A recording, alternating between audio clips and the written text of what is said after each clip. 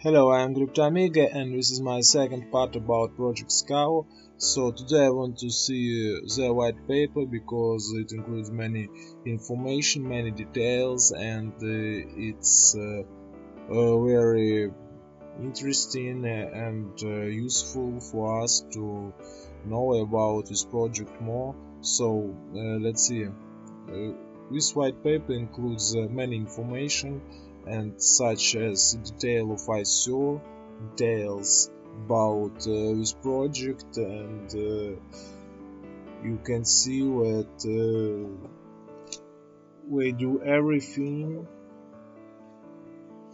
uh,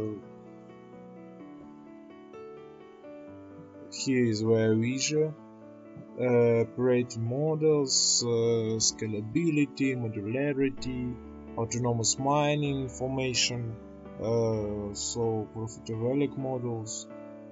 So where, where is there are many many information. So uh, simply put let's see. So Scavo Technologies created the Scavo token to guarantee investors the rights to receive the profit uh, and in the same way ensure uh, their participation in the important decisions of the company. So uh, if you buy tokens you can be the part of this project and to say your uh, thoughts about uh, the future of this project and uh, your voice will be heard uh, so here is the amount of issuance of token and uh, here's information about distribution and uh, ICO dates you can see here is the start and uh, the end date and uh, here's very interesting information about token price because if you invest um, earlier you will receive uh, more profit. So uh, currently price uh, is uh, such price about 90 cents and about 10% bonus.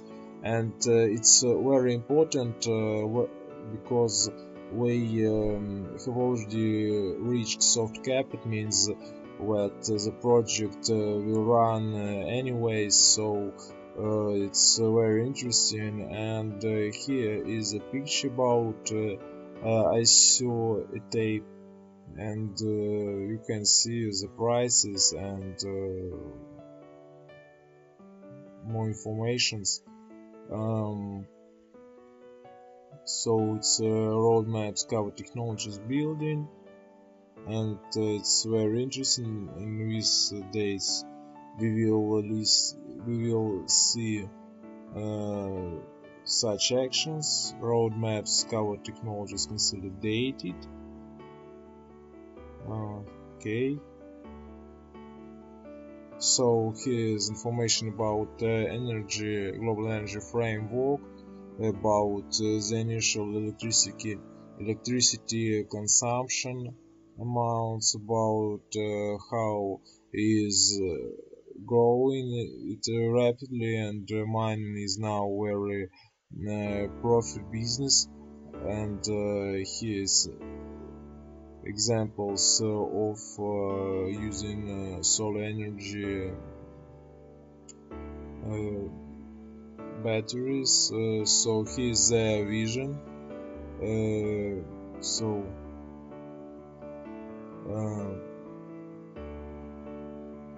we want uh, to achieve uh, to, to make uh, totally autonomous units of the plug and deploy type and uh, is composed of the following subsystems it's a mining center, refrigeration and supply, information control center, network video recording, unified data center, operation models information tools such.